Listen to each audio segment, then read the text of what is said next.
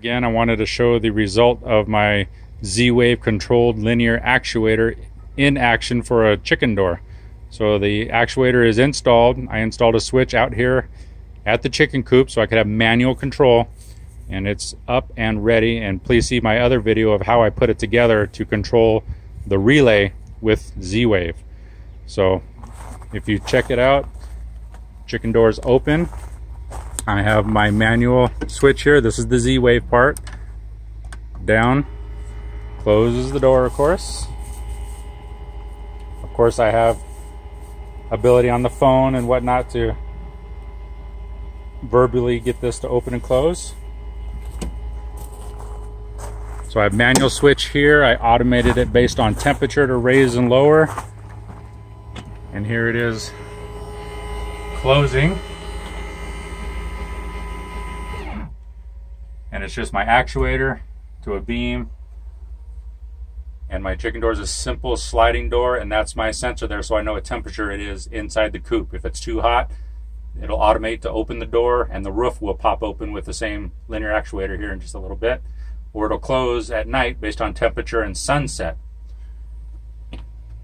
So, Alexa, open chicken door.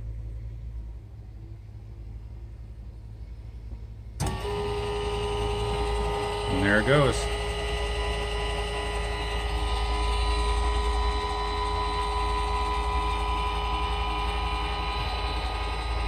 Z-Wave linear controlled, or excuse me, Z-Wave actuator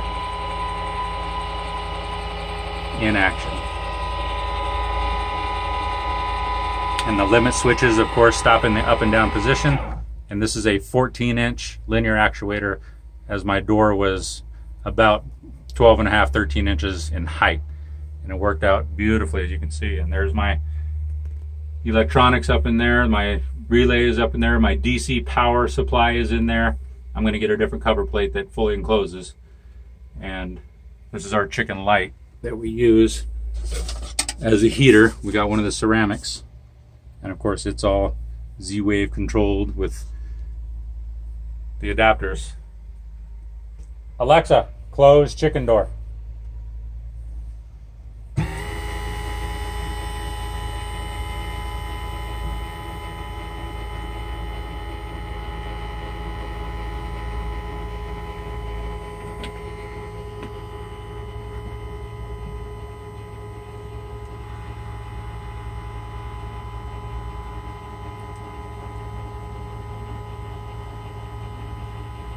Maybe a safety switch. Might not hurt.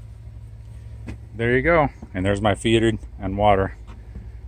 And of course this is uh, my water during the summer when I can tell Alexa to tell Rachio to water the chickens or automate it and it just fills the tube and there's the chicken water and feeder so I can tell Alexa to water the chickens and open close the door and turn the light slash heater on and off